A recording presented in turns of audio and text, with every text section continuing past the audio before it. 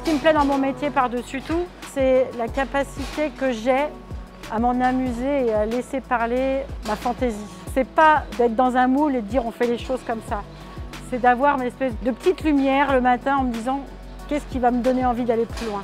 C'est pas la routine, c'est la capacité de pouvoir toujours innover, toujours réfléchir à autre chose et jamais avoir à, tomber dans quelque chose de régulier laisser mon petit grain de fantaisie toujours me donner des idées pour rebondir.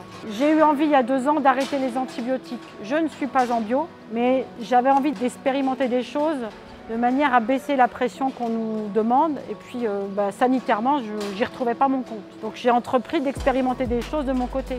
Et aujourd'hui, c'est euh, un dixième des animaux qui ont des traitements antibiotiques. Aujourd'hui, j'attaque une nouvelle étape.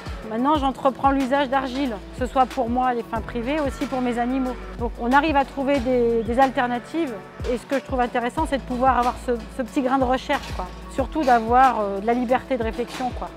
De parvenir avec le schéma parental et avoir euh, des idées neuves. Aujourd'hui, on a tout à écrire en agricole, on a tout à bousculer et on a surtout tout à abandonner.